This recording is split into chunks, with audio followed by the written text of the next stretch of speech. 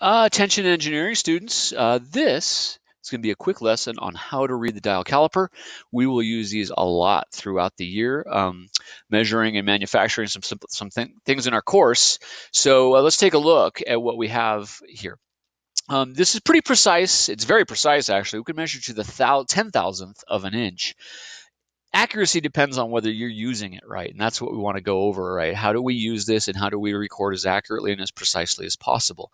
The first thing we need to do is we need to make sure when the calipers are closed and measuring nothing that it's reading as close to zero as possible. So we need to zero it. And right now you can see when these calipers are closed here it's not reading zero. So that's really simple uh, to do. I'm just going to unscrew this one just uh, loosen it it's called the dial lock and then just twist the bez bezel so that it lines up. So that's zero now. And tighten that up a little bit. Doesn't have to be super tight, just tight enough to hold. And that's zero now. Every time I do that, I'm measuring from zero, not some offset. This uh, screw right here, this allows your uh, calipers to slide easily or if I tighten it down, they won't slide anymore. Let's say I want to fix a reading and take the calipers, move them around. I don't want them to move around or adjust while I am moving, so I would tighten that. So let's go ahead and do a measurement. So I'm going to loosen this so I can move it around, and I'm going to put in an old iPod. Some of you guys may not even recognize what this is, right? It's an iPod.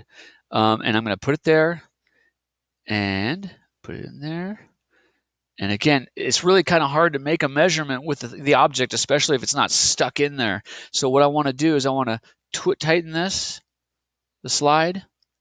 Now my object can come out and I preserve that measurement. And that's what we're going to want to read in this case.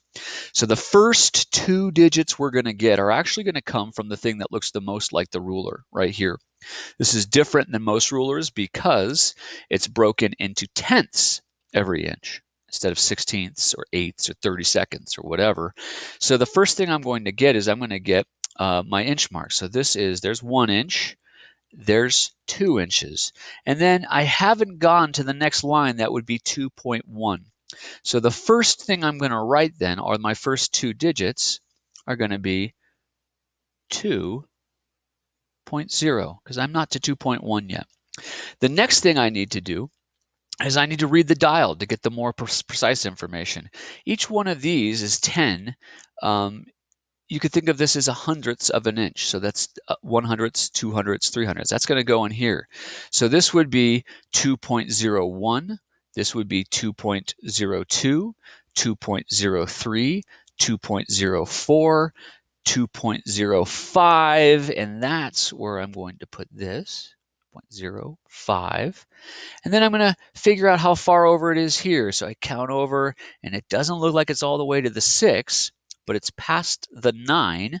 So I know it's 2.059, and here's where we make that estimate, right? How far between those little guys, those little lines, is it? To me, it's not all the way on the 660, but it's pretty close. So I would say it's 9. So I would record this, uh, the, the width of my iPhone is pretty close to two inches, right? It's 2.0599 inch. Anytime we use this, this instrument, we can get to the 10,000th. If I can get four decimal places from any measurement, I want four decimal places from every measurement. That's what this lesson and the practice for today is about.